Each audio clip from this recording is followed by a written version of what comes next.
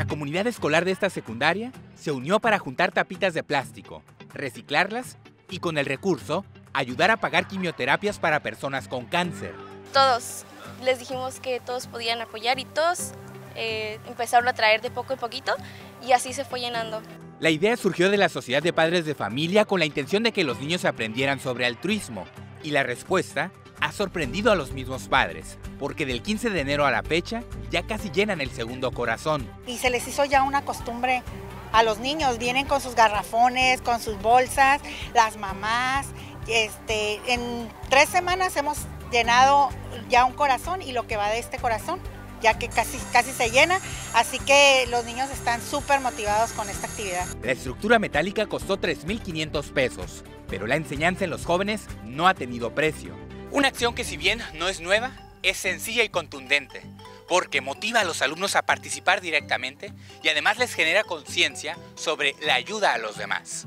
La escuela siempre ha formado parte de la comunidad del Rubí y sus alrededores y querían regresarles algo a la comunidad, buscando en internet qué pudiéramos hacer que no fuera en aportación económica.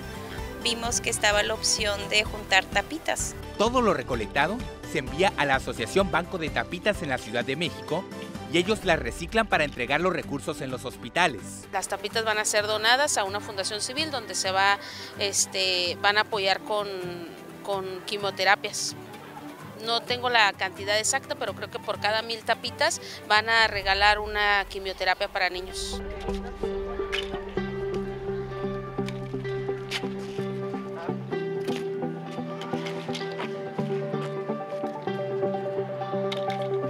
Pero este proyecto se suma a otros esfuerzos en la secundaria número 3 Belisario Domínguez en el Rubí de Tijuana para motivar a los alumnos.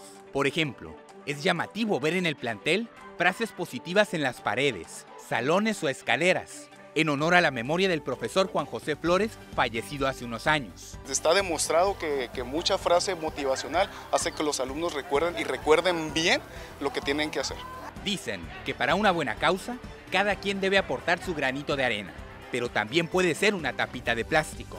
La secundaria 3 hoy nos da la muestra de que sumando los esfuerzos individuales se puede marcar la diferencia.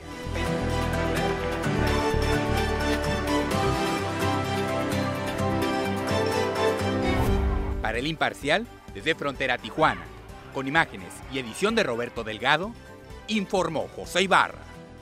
Siempre la noticia.